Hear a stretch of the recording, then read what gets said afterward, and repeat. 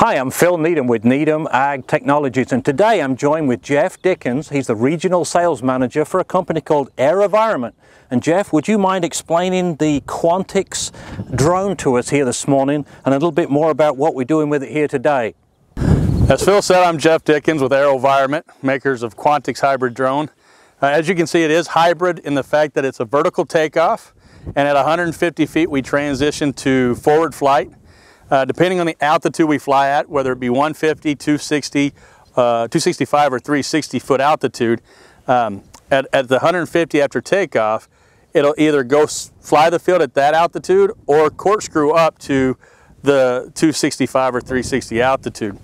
Um, at that point, everything is controlled off of our tablet here.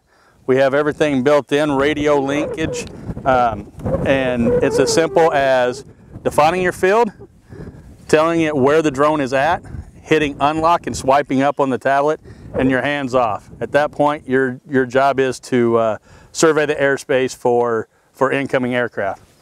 Um, as no more information on the drone, um, we have our battery pack and all of our indicating lights.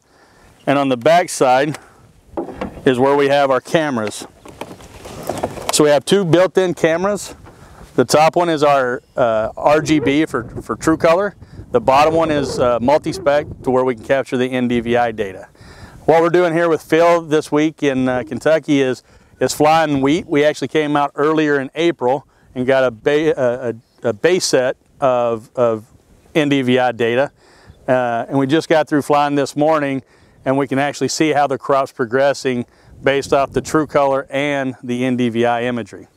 Um, more information on it, visit uh, avdroneanalytics.com.